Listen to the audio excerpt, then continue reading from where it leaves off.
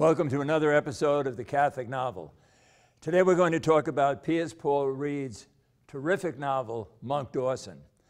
Uh, I, I met Piers Paul Read. Matter of fact, I think I had lunch with him. I, said I think it was like 30 years ago when this book was new. Uh, but I'm going to read the first page to you, uh, and then I'm going to comment on it. I had three different experiences of nostalgia reading this first page. So, Monk Dawson, the narrator, is a non believer. And I think it's interesting that Piers Paul Read decided to do that. So here's the first page, chapter one. Acting on mistaken principles of piety and snobbery, my parents sent me to a boarding school in the English countryside, which was run by Benedictine monks. On the first day of the first term, they drove me there themselves to the country house surrounded by woods which smelt of wild garlic and dead crows. I was then seven years old. We were given tea by the headmaster, Father Francis Ash, in a part of the school that was afterwards out of bounds for the boys. Then they drove away, leaving me alone for the first time in my life, alone with this priest in his black habit and hood. Another car pulls up, and uh, the character who's going to be called uh, Monk Dawson gets out, and his parents are introduced to this Father Ash. The man, that's Dawson's father. The man was tall, the woman seemed like my own mother, and for a moment I wanted to rush into her arms, but did not. I eyed the other boy, and he looked back at me. He was like his father, thin, dark, with brown eyes and black hair. This is Eddie, the mother said to the headmaster. I, feel sure he should be called Edward now, said the father. Oh, no, said the mother. He's always been Eddie. It doesn't really matter, said Father Francis in his dry voice. Here, he will be known as Dawson. Now, reading that, uh, that's the first day of uh, high school, okay? I don't remember my first day of high school. Or, um, excuse me, the first day of grammar school. I don't remember that either. But I do remember my first day at the major seminary. And this brought this, this page brought all of this back to me. It was the first day we wore black suits, black ties. We were going to be away from our parents and family for about three months. It's a mix, it was a mixture of sadness and excitement. That's the first trip of nostalgia this caused. The second was this. Back when this novel first came out in 1970, I was te teaching at a college seminary, and a number of the faculty got very interested in this novel, and we read it, and we used to talk about it. It was very exciting. And somehow, and I cannot remember how, I got in touch with Piers Paul Read. And on uh, one of my one or two trips to London, I had lunch with him in his office. A really nice person. Uh, I'm sure we talked about Monk Dawson, and he gave me some of his views on the Catholic novel. He gave me a couple of good anecdotes about Graham Greene. That's the third nostalgic trip. Uh, I reread the book for this show, and if this show turns out all right, somehow I'm going to get it to Piers Paul Read, because I want to thank him uh, for the writing that he's done that has made a big impression on me, and also for the just this wonderful career he has had as a novelist. Now, what's the story about? He, he starts with uh, Edward Dawson in grammar school, and he goes all the way through his priesthood. Uh, early on, he talks about religious instruction at the school he is at. Okay, so remember now, the narrator is not a believer. He's the other boy on the first page. And he's a friend of Dawson in, in grammar school, and they link up later in the novel. Religion was never forced on us at Kirkham. Religious instruction was the least important subject on the curriculum, and we all left the school particularly ignorant at the substance of our supposed beliefs. But this was not the product of negligence. The monks of this order, of St. Benedict, were only following the tactics of another order, the Society of Jesus. Now, I studied religion in the first two years of college uh, at the seminary, and the priest teaching it didn't think you could teach religion, so he taught it as a kind of a memory course. Uh, and I think religion teachers have to make a decision. Are they going to emphasize doctrine or are they going to somehow, through their personality, their dedication, their zeal, somehow communicate something to the students? And it's not, it's not an easy decision to make, and it's not easy to accomplish. Um, but anyway, it, the, the religious instruction takes very strongly with Edward Dawson, and he eventually becomes a priest. Uh, I marvel that laymen, laymen, laymen, and laywomen can write really good novels about priests. I was thinking of The Edge of Sadness uh, by Edwin O'Connor. I was thinking, of course, Diary of a Country Priest by George Bernanos. And I would say uh, Piers Paul Read either knew a large number of priests, or maybe he thought about being a priest himself a while. But his, his insights into the priesthood are really good. There's a page here when he begins to have doubts. Uh, he's been a priest a couple of years. And uh, he begins to think maybe I haven't been doing any good at all. Maybe in confession, all I'm doing is laying unnecessary burdens on people. Uh, maybe my preaching isn't really deeply touching anyone. Now, that can be a really serious temptation, uh, not only for priests, for anybody who is a religious believer. You know, we all, want to, we all want to think we're making a difference. We're somehow communicating, we're somehow touching people. Um, if you or, you or someone you know is really enthusiastic and really energetic about something, and that person tries to communicate it to someone else, and it just doesn't happen. It just doesn't work, okay? That is extremely discouraging. Now, if you, if you, if you single out a priest, the priest has de dedicated his life to this. You know, not just a weekend, not just a couple of weeks, not just a couple of months.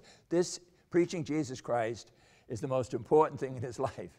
And when he does it and nothing seems to happen, that can be a terrific temptation. It can cause all kinds of doubts and questions, okay?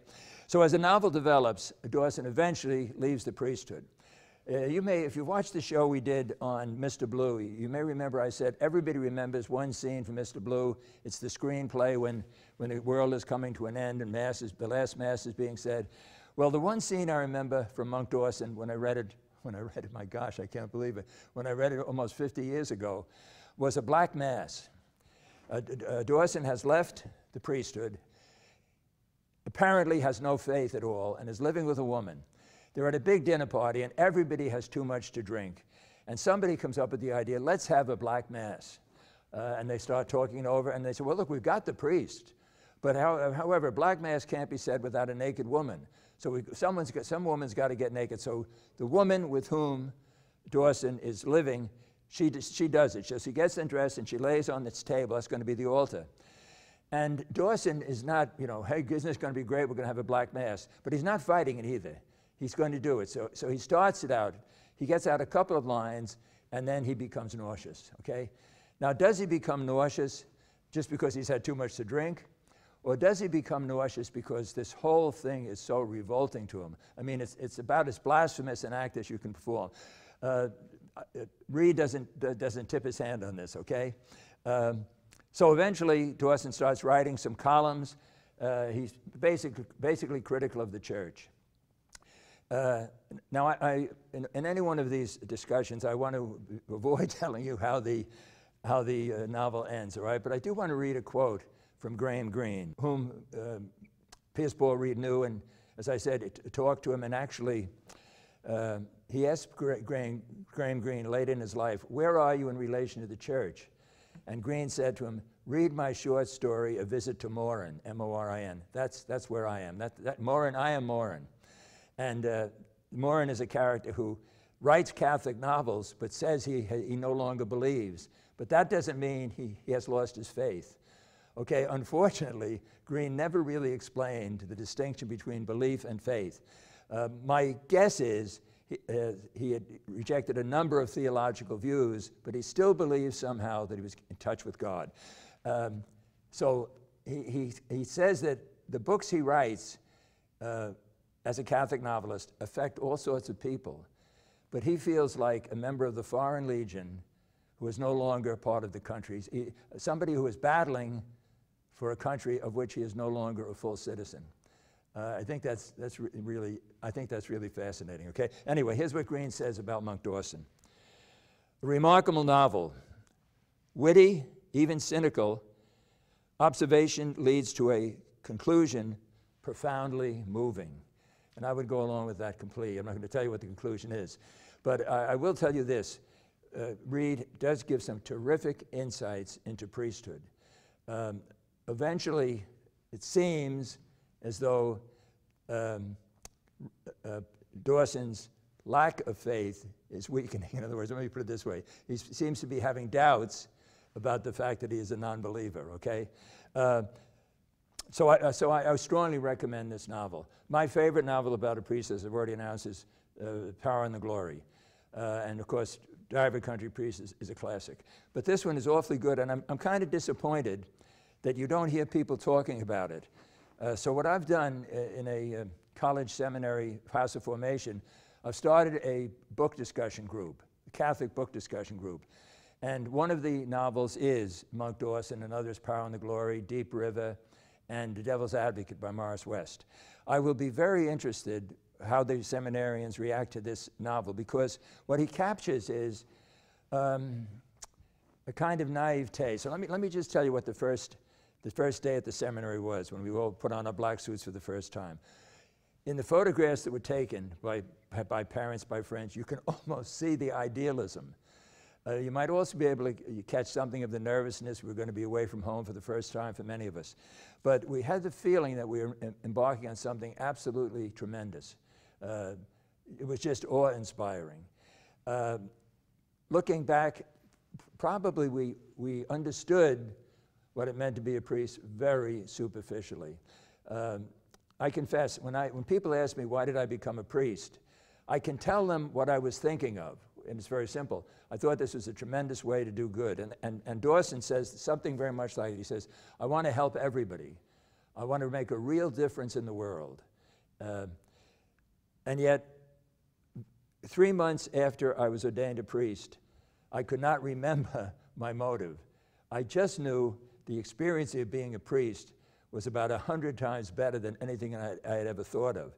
Now, why can't I really say, you know, this is the reason I became a priest? Because any vocation, and it's, it's very dramatic with a priest, involves three mysteries the mystery of the person, the mystery of God, and the mystery of the vocation. For me to know why I became a priest, I'd have to understand Robert Lauder completely, and I don't even come close to that.